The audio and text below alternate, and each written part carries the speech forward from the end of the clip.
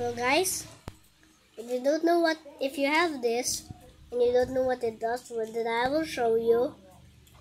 So first off, it just looks like a temporary normal van. I know you tested all cars that are modeled like this called Tomica. Most of them have some suspension, but the other ones do not have.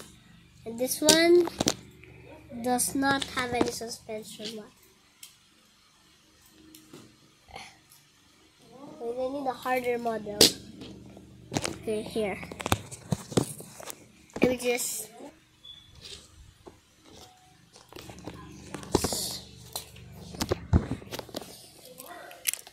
you can see this so doesn't have suspension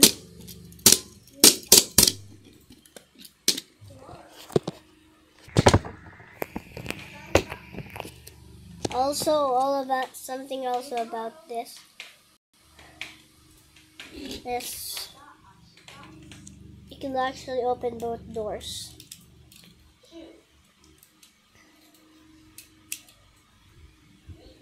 Lucky lucky van expression. Wait again. Okay van expression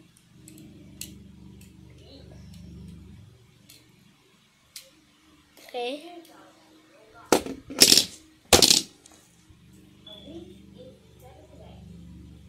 Wait.